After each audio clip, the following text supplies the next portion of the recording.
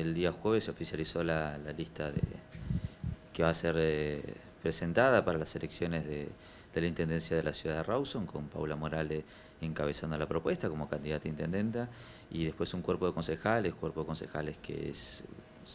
predomina la juventud, predomina sobre todo vecinos y vecinas de Rawson con interés de hacer su aporte, sobre todo por los grandes desafíos que amerita tener la capital provincial y que hasta el día de hoy nosotros vemos que eh, le falta, le falta esa perspectiva de crecimiento grande, esa perspectiva de ser una capital pujante y que bueno, los vecinos y vecinas también están, están pidiéndolo, ¿no?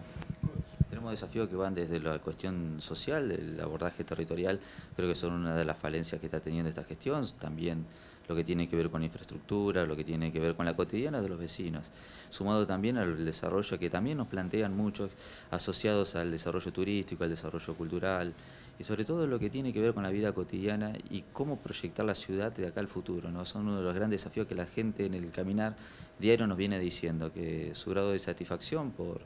por ahí por algunos temas que ellos pensaban que esta gestión iba a dar respuestas y que hasta el día de hoy están esperándola.